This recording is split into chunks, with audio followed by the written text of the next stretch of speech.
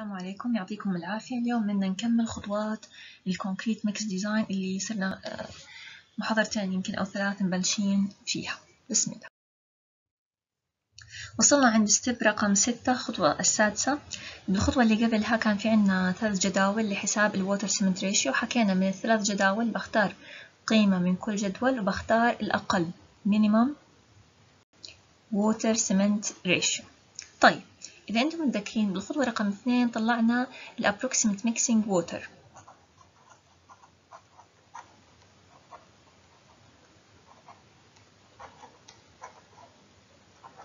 وحكيت لكم الوحدة كيلو جرام من الماء لكل متر مكعب من الخرسانة of concrete طيب إحنا ال water cement ratio هي عبارة عن ال water على ال cement ضرب مية بالمية. طيب من الخطوة رقم خمسة صارت ال water cement ratio معي من الخطوة رقم اثنين كمية الماء معي. بعدين بطلع من خلال هاي العلاقة بقدر أطلع كمية الإسمنت. ال water cement ratio اسمها ratio يعني unitless ما إلها وحدات. فبالتالي لازم تكون وحدة ال water نفس وحدة الإسمنت عشان يكون unitless فكمية الإسمنت حتطلع معي كيلو جرام of cement per متر cube of concrete فإذا أعيد. إحنا طلعنا ال water cement ratio من خلال عندنا ثلاث جداول. في جدول يعتمد على f prime c وجدول يعتمد على ال exposure condition هل في freezing و thawing protected لو permeability آه، إذا متذكرين كان عندنا أربع حالات. وفي جدول كان إذا في عندي sulfate exposure ولا لا تعرض للكبريتات سواء من المياه الجوفية أو سواء من التربة. من هذول الثلاث جداول بختار القيمة الأقل لل water cement ratio وبصمم عليها ليش الأقل؟ عشان تعطيني الأعلى strength لأنه أهم requirement ال strength بعدين تجي ال durability تمام؟ حددنا ال water cement ratio بخطوة رقم اثنين إحنا حددنا كمية مياه الخلط التقريبية بوحدة كيلو جرام ماء لكل كيلو جرام آه لكل متر مكعب عفوا من الخرسانة قانون ال water cement ratio هي water على cement ضرب 100% سواء mass على mass أو volume على volume بس هي بالأصل mass ratio. تمام؟ الأصل يعني العلاقة كانت محس... تعلمناها ب chapter ال cement اللي هي mass ratio. معي كمية المياه معي ال water cement ratio بقدر أطلع الإسمنت من خلال علاقة أحكي إنه ال cement صار يساوي ال water على ال water cement ratio. فهيك أنا صرت نطلع إذا بتلاحظوا. الماء والإسمنت. ضايل علي coarse aggregate و fine aggregate تمام؟ وهذا الإشي حنشوف ال coarse aggregate من خلال step number 7 إحنا ال concrete إحنا شو هي؟ cement water و aggregate fine و coarse طلعنا ال water وطلعنا الإسمنت هسه بنطلع ال coarse خطوة رقم سبعة estimation of coarse aggregate content. حنروح على table رقم خمسة. table رقم خمسة حيعطيني volume هيها of a dry rodded coarse aggregate per unit volume of concrete. Volume coarse على volume. إذا بتلاحظوا كميات الماء هي ال water كمية الإسمنت طلعناهم بوحدة كيلو جرام per متر cube concrete وهاي برضو كيلو جرام per متر cube 1 متر cube of concrete فأنا لازم تكون الوحدات متجانسة ضايل علي ال coarse aggregate وال fine aggregate عشان أنا أكون خلصت ال mix design إذا بلاحظ table سبعة بحكي لي بتعطيني volume على volume of concrete يعني أعطاني إياها متر مكعب على متر مكعب of concrete صح ولا لا؟ طب متر مكعب على متر مكعب يعطيني إيش؟ unitless ratio فإذا هذا الجدول حيعطيني ال ratio of coarse aggregate in concrete. طيب. طلعتها ك ratio طب بس أنا إذا بلاحظ وحدة الماء ووحدة الإسمنت كيلو جرام متر مكعب كيلو جرام متر مكعب لازم أطلعها بنفس الوحدة.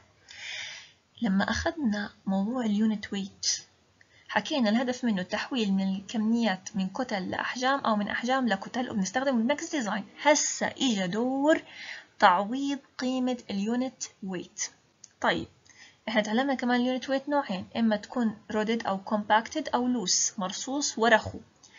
هل بعوض بالعلاقة ال compacted ولا ال loose وليش؟ حنعوض ال compacted لأن لأنه إحنا بالخرسانة لما نصبها بخشب الطوبار بنعملها رص. فأنا بدي أحاكي ما يحدث على أرض الواقع فبختار قيمة ال unit weight compacted طيب خلينا نشوف مع بعض طريقة التحويل. أنا بدي ال coarse aggregate خلينا نكتبها هون. وحدتها كيلو جرام على متر مكعب of concrete بتساوي كيلو جرام per متر مكعب of concrete طيب ال unit weight شو كانت وحدتها؟ كيلو جرام of coarse aggregate يا density mass على volume على متر مكعب of coarse aggregate كيلو جرام على متر مكعب. بضربها بال ratio. ال ratio كانت وحدتها متر مكعب coarse aggregate على متر على. إذا نعيدها هون إحنا بدنا نطلع ال coarse aggregate بوحدة كيلو جرام of coarse aggregate على واحد متر مكعب من ال concrete. بتساوي. إحنا طلعنا الرقم من أو ال ratio من ال table حكينا هي وحدتها volume على volume فإحنا هاي القيمة اللي أخذناها من ال table حتكون وحدتها متر مكعب of coarse aggregate على متر مكعب of concrete طيب لما أجي أنا أضربها بال unit weight أو اللي سميناها جاما هي كانت إيش؟ density. هاي ال density mass على volume ال density لل coarse aggregate أو ال unit weight حتكون كيلو جرام of coarse aggregate على متر مكعب of coarse aggregate بلاحظ هون عندي متر مكعب of coarse aggregate وهون في عندنا متر مكعب of coarse aggregate بسط ومقام هاي مع هاي بتروح بتطلع معي كيلو جرام of coarse aggregate على واحد متر cube of concrete وهذا المطلوب كيف عملنا هذا الحكي؟ طلب ضربنا ال ratio from table 5 هاي ال ratio اللي أخذتها من table 5 ضرب ال unit weight compacted فهيك بطلع ال coarse aggregate content. وهذا الإشي احفظوه لي إياه. أتمنى أنكم تكونوا فهمتوا.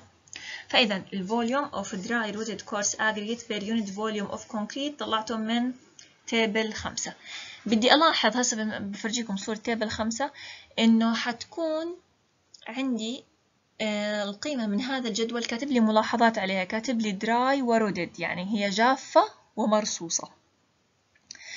Oven dry weight of course aggregate W dry. وهذا الإشي مر معنا بشابتر الأجريت أو كنا نكتب W أو كنا نحكي عنه W dry أو W solid أو W oven dry. كلها نفس المصطلحات. بتساوي ال volume اللي جبته من table خمسة ضرب gamma. gamma اللي هي ال unit weight of dry rodded aggregate أو compacted aggregate اللي كنا نسميها إما جاما أو نسميها UW compacted أو rodded كلها نفس المعنى. فإذا صار موجود عندي من الميكس ديزاين الووتر السمنت الكورس aggregate. مين متبقي علينا؟ إيش؟ ال fine aggregate. طبعا حن قدام شوي حنلاحظ إنه إحنا مضطرين نعمل عمليات تحويل حسب محتوى الرطوبة. رجع ذكرني بالعلاقات اللي أخذناها ب chapter ال aggregate ال weight SSD هو ال weight dry زائد واحد مجموع لل absorption على مية هذا طبعا حنتعلم الموضوع لحال أو نرجع نراجعه. عملية التصحيح حسب حالة الرطوبة. أنت المفروض تحط لي الكميات بحالة ال SSD يعني إحنا طلعناها dry أنا لازم لما ألخص زي هيك الكميات بالآخر الأجز بدي أحط الكميات ال SSD طيب بعد ما طلعنا كمية ال coarse aggregate تكون وصلنا لآخر إشي اللي هو حساب ال fine aggregate عند خطوة حساب ثمانية هاي estimation of fine aggregate content. بيصير عندي إما الحل عند هاي الخطوة إما mass method أو volume method يعني بدي أوصل لكم إياه. سواء بشتغل mass method أو volume method بضل ماشي بنفس الخطوات ونفس الجداول. الاختلاف فقط بصير من عند خطوة ثمانية. هون بصير عندي يا بحل mass method أو بحل volume method. فكرة ال mass method بيكون عندي كتلة الخرسانة ككل بطرح منها كتلة ال water وال cement وال coarse بضل كتلة ال fine. ال volume method بيكون عندي حجم الخرسانة بطرح منها حجم الماء وحجم الاسمنت وحجم ال coarse aggregate وحجم الهواء. انتبهوا بال mass method الهواء ما له وزن لكن بال volume method الهواء له حيز له حجم. فبدي أطرحه بال volume method بينما بال mass ما بطرحه. فإذا بال volume method بحكي الحجم الكلي ناقص حجم الماء حجم الإسمنت حجم الركام الخشن وحجم الهواء. فبيطلع معي حجم ال fine aggregate. حتلاحظوا إنه هون حكينا عن ال volume method لأنها more accurate ليش more accurate لأني حسبت حساب هواء. صح ولا لا؟ يعني أنا بال mass method تجاهلت الهواء لأنه ما له وزن لكنه فعليا موجود من المكونات. فبالتالي ال volume method هي طريقة أكثر دقة. طريقة ال volume method حتحكي لي أنا عندي واحد متر cube of concrete متر مكعب من الخرسانة. فال volume لل fine aggregate يساوي الواحد هذا المتر المكعب من الخرسانة ككل. طرحت منه حجم الإسمنت حجم الماء حجم ال coarse aggregate حجم الهواء فحيطلع لي حجم ال fine aggregate أما بالنسبة لطريقة ال mass method فإنها العلاقة estimation of fine aggregate content by mass method UM يعني unit mass of concrete بتساوي عشرة GA هاي جاي من ال aggregate مية ناقص A زائد CM CM هاي cement content. مضروبة في واحد ناقص جي A على جي سي ناقص جي سي يعني specific gravity لل cement ناقص WM يعني ال water content في GA ناقص واحد. Or use table 6 في عندي table 6 بيعطيني قيمة ال UM كتقدير وليس exact. Of concrete density. خلينا نشوف كل واحدة شو معناها. GA نسبة ال coarse aggregate في الوزن النوعي لل coarse aggregate زائد نسبة ال fine aggregate في الوزن النوعي لل fine aggregate. عيوب هاي الطريقة إنك أصلا مش عارف لسه شو نسبة ال fine وشو نسبة ال coarse. فبحكي لكم شو بنعمل عشان نتخطى هاي المشكلة. GC specific gravity of cement وإحنا حفظناها 3 و15 WM اللي هي ال approximate mixing water اللي طلعناها و CM ال cement content اللي طلعناه. فبعوض بهاي المعادلة بطلع ال UM. صارت ال UM معروفة عندي بحكي ال UM ناقص mass ال cement وال water وال coarse بيعطيني mass ال fine أو ما بجيب ال UM بالمعادلة بجيبها من الجدول لكن هاي المعادلة أكثر دقة وأقل نسبة للخطأ بينما الجدول بيعطيني rough estimate وزي ما حكينا عيبها انك مش محدد لسه شو نسبة ال coarse وشو نسبة ال fine لأنك مش عارف كمية ال fine ممكن أنا أستفيد منها بحالة إنه أنا أصلا محدد مسبقا قديش نسبة ال fine لل coarse ك ratio بدي أستخدمها.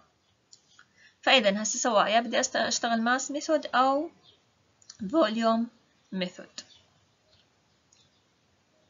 يعني هاي الطريقتين قدامنا. الفكرة إنه مجموع الكتل بطرحه من كتلة الخرسانة أو مجموع الأحجام بطرحه من حجم الخرسانة. بالطريقتين إما بيعطيني حجم ال fine أو وزن الفاين